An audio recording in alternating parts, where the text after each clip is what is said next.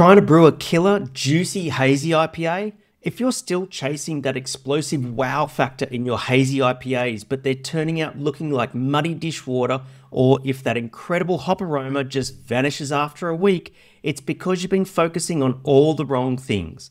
Forget endlessly tweaking your grain bill and hop combo. The secret to a world class, line out the door hazy IPA isn't some magic hop combo or one more scoop of oats. I've seen brewers clutch their Beersmith and Brewfather recipes like sacred scrolls, but the secret is mastering five non negotiable rules of process and chemistry. In this episode of Quality Focus Pro Brewers, I'm going to give you the keys to the kingdom.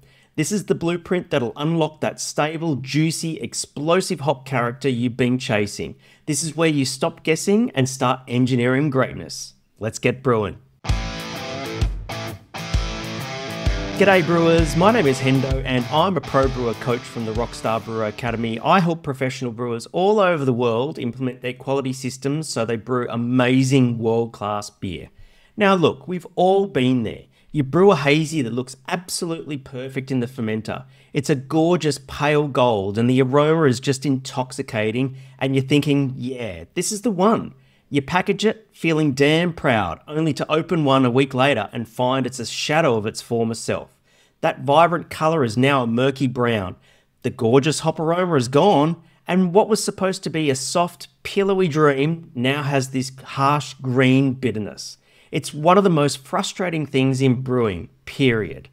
The whole point of a New England IPA isn't just the haze, it's a promise.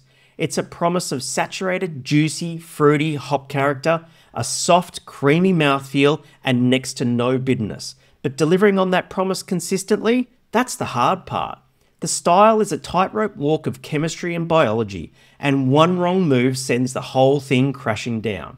Today, we're throwing out the endless recipe twigs and we're going to dive deep into the why behind the what. This is about your process, this is about the chemistry and the microbiology. Break these five rules at your own peril because these are the pillars that separate hazies that make you go meh to the truly world class ones that people actually line up for. Master these and you'll become a better brewer, full stop. So let's get into the first secret, the one that most brewers completely overlook your water chemistry. Your water is your canvas, not just an ingredient.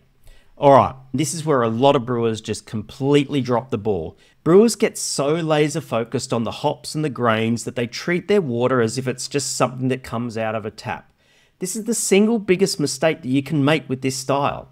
Think of your water not as an ingredient, but as the canvas you're about to paint on. If that canvas is garbage, I don't care how good your paints are, the final painting is going to be compromised. Because here's the thing if you're brewing a hazy that's 6% ABV, it's 94% water. It's literally the most abundant ingredient in your pint glass. Think about it. You've absolutely nailed the hop combo. You're using a mountain of oats, but the beer still has this thin body and a sharp, almost minerally bite to it. And that pillowy softness you're chasing feels more like a myth. Here's what you need to do you have to take complete control of your water chemistry. Your main target is the sulfate to chloride ratio. For a rockstar level hazy IPA, you need to slam the scale in favour of chloride. A 0.5 or even a 0.3 ratio of sulfate to chloride is a great place to start. And the best way to do this is to start with a blank slate.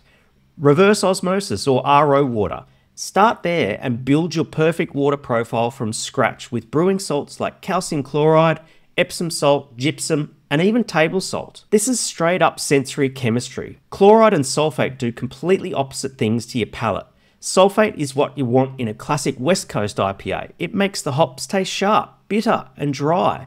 That's the enemy in this style. Chloride, on the other hand, is your best friend. It makes everything feel fuller, rounder, and softer. It boosts the perception of sweetness and it creates that pillowy mouthfeel that lets the juicy hop flavours pop without getting stomped on by bitterness. I worked as a brewery in Adelaide and they were getting amazing aromas, but the finish was harsh and astringent. We looked at their water report, and to be honest, it was some of the most difficult municipal water I've ever had to deal with in my career. I had them switch to RO and build a water profile where the beer pH was 4.4 and the sulfate to chloride ratio was 0.4 and the calcium level was around 80 parts per million. The very next batch was a completely different beer. It was luscious, soft, and the juice character was finally able to shine. That beer just won Champion Beer of Show at the recent Royal Adelaide Beer and Cider Awards. Stop leaving your water to chance and don't fall into the trap of cranking your chloride levels to the extreme. It'll only make your beer taste like you're chewing on an aspirin pill and add so much calcium to your water that your yeast will flocculate out and kill your haze. Water's the non negotiable first step, and if you want to dial in your water chemistry, be sure to check out my free five step quality checklist by commenting checklist below or heading to rockstarbrewer.com forward slash checklist. Now, the next secret is modern grist engineering. You got to engineer the haze and the mouthfeel. Okay, so with our soft, pillowy water canvas ready, let's talk about the grist. This secret is realizing the grain bill for a hazy isn't just about making sugar for the yeast to eat, it's about bioengineering texture and a stable haze. Forget the old rules about making clear beer. Here, we're building a beautiful permanent cloud from the ground up. But here's the problem your beer has a poor haze that just drops out after a week, or worse, you get that dreaded snow globe look with ugly chunks floating around. The beer feels thin and not creamy. You have to build a grist that's loaded with haze positive proteins. This means a solid chunk of your grain bill, typically around 20 to 30%, needs to be high protein adjuncts like flaked oats, flaked wheat, and malted wheat. And for a secret weapon, consider something like chit malt. It's under modified, so it's packed full of protein. Here's why it works that beautiful, stable haze isn't just yeast, it's a complex matrix of proteins from your grain locking arms with polyphenols from your hops. And so you need to pick your adjuncts properly. Oats, for instance. Flaked oats are your friend for mouthfeel. They're full of beta glucans, which add viscosity, making the beer feel richer and creamier. And they also bring proteins to the party, which help build haze structure. Wheat is the real protein powerhouse, though. It's packed with the specific types of proteins that are essential for creating a stable, long lasting haze when they bind with the hop polyphenols. Many brewers find that malted wheat gives a smooth, more stable haze than raw wheat, but for me, I personally like flaked wheat. And then there's this trick that I've seen some of the best hazy brewers use chit malt. It's an undermodified malt that's basically a protein bomb. It can give you incredible head retention and adds another layer of stability to your haze. A brewery I know in Victoria was struggling with their haze dropping clear, so they added about 5% chit malt to their grist, and then boom, permanent haze. Beautiful haze that wouldn't quit. And finally, your mash matters. A high mash temp, say around 67 to 69 degrees Celsius, that's 152 to 156 in freedom units, leaves more unfermentable sugars behind, which means more body and a touch of sweetness. You're not just following a recipe, you're the architect of your beer's texture and appearance. And the next secret intelligent hopping. Think biotransformation and temperature control. So now we get to the star of the show, the hops. But here's the hard truth the next secret creating that explosive hop aroma that isn't about using more hops, it's about using them smarter. The best hazy IPAs out there use a multi layered, temperature aware hopping plan designed to unlock flavours through smart chemistry and biology. But here's the problem your beer smells incredible coming out of the fermenter, but that aroma falls off a cliff in two weeks. Or you've dry hopped the hell out of it and all you got was a nasty green astringent hop burn that scrapes your tongue. You need a cooler whirlpool and a smart two stage dry hop. One charge goes in during active fermentation, about three quarters of the way through fermentation, and the second goes in right at terminal gravity just as a final polish. Firstly, the whirlpool. The days of really hot whirlpools at 95 degrees Celsius are over for this style. High heat rips a lot of bitterness out of those hops and flashes off the most delicate, beautiful aromas. By dropping your whirlpool temperature to about 75 to 85 degrees Celsius, that's about 167 to 185, you get all the amazing flavour and aroma compounds from your hops with a fraction of the harsh bitterness. It's a total game changer. Next, dry hopping. A two stage attack is key. DDH is king in this style. The first one is going to be your biotransformation hop. You add this charge after peak fermentation, typically about five or six days in. This is where the real magic happens. Your yeast has enzymes that can actually interact with flavorless compounds in the hops, such as bound thiols and glycosides, to transform them into incredibly potent fruity new aromas. It creates those complex, juicy notes of citrus, passion fruit, and guava that you simply can't get any other way. And don't fall into the trap of adding your biotransformation dry hop too early. Longer contact time can extract those gross, grassy, vegetal aroma and flavours from your hops, and your haze will also suffer. Wait, and you will be rewarded. And then the second dry hop charge usually goes in after the beer hits its final gravity. The fermentation is done, so there's no CO2 scrubbing away all that goodness. This charge is all about that fresh, in your face aromatic punch. It's the top note, that final polish. Now, I know that talented brewers like Scott Janish swear by soft crashing their beer to 14 degrees Celsius or 57 Fahrenheit before dry hopping. And look, I get it. Removing yeast cells prior to dry hopping will see less of those aroma compounds being absorbed by yeast cells, but I simply can't accept the risk of hop creep that comes with it. The yeast is below its optimal operating temperature and may not be able to ferment out the newly formed fermentable sugars from hop creep efficiently or deal with the diacetyl that's inevitably produced. What works for me is dry hopping during the diacetyl rest phase, testing for diacetyl, and then and only then cold crashing. But hey, your mileage might vary, that's okay. But even with the strategic dry hopping plan, you still have to manage that vegetal hop material. Hop burn is that harsh, astringent taste of tiny hop particles suspended in your beer. To fight this, you need a solid separation plan. About 24 to 36 hours after each dry hop charge, dump the settled hops from the cone out of your fermenter. This gets a ton of that harsh green matter out. And before you package, give the beer plenty of time to settle. And if you're still getting that hop burn after all that, consider using a coarse filter or a centrifuge if you can afford one during your final transfer. This can be a last resort to remove those particles without stripping out the good stuff and rousing your dry hops. Some brewers swear by it, others don't see the point. You do you, but don't overdo the rousing because you'll extract those grassy vegetal notes that you definitely don't want in a hazy IPA. Hopping this style is all about being strategic. It's not just throwing pellets at the problem.